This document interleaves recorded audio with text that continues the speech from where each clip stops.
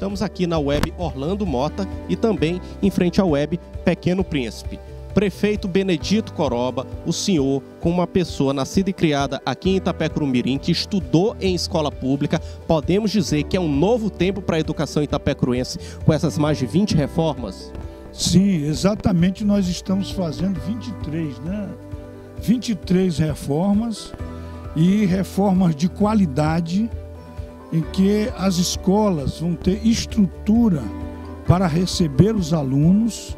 Nós, nós estamos dando um salto grandioso na educação de Itapecuru e eu agora quero mais uma vez parabenizar a professora Nazaré Ferraz pelo excelente trabalho que vem realizando na política pública da educação.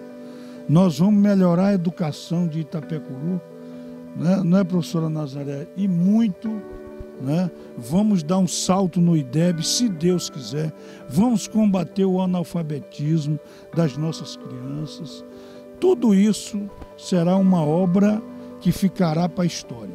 Ah, um dos maiores prazeres nossos da nossa gestão é chegar e as pessoas dar um, um um feedback, um resultado das nossas obras que pela primeira vez em Itapecuru uma gestão pública está vendo as escolas como prioridade.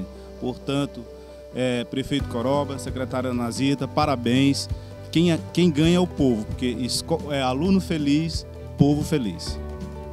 Secretária Nazaré Ferraz, uma das características dessas mais de 20 reformas foram, foi a ampliação dos pátios e das varandas. Qual é a importância das nossas crianças, além de ter toda a melhor educação na sua escola, também ter um espaço para recreação?